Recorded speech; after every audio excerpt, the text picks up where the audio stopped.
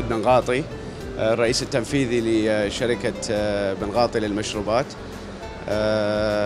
مثل ما أنتم شايفين طبعا شركة بنغاطي للمشروبات هي الشركة المالكة لماركة راوبي أو عصير راوبي ومتواجدة في دبي. وأيضا عندنا استثمار الآن لمصنع مساحته نصف مليون قدم مربع.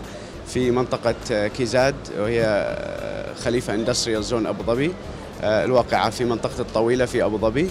هذا المصنع إن شاء الله سيكون شغال في شهر ثمانية من هذه السنة.